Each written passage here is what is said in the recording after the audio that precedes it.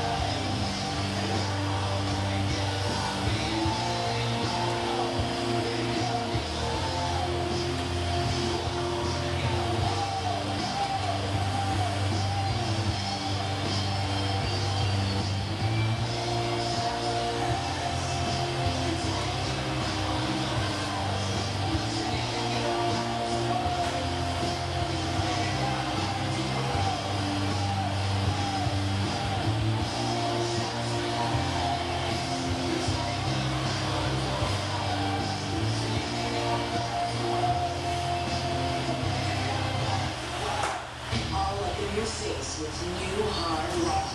Oh yeah.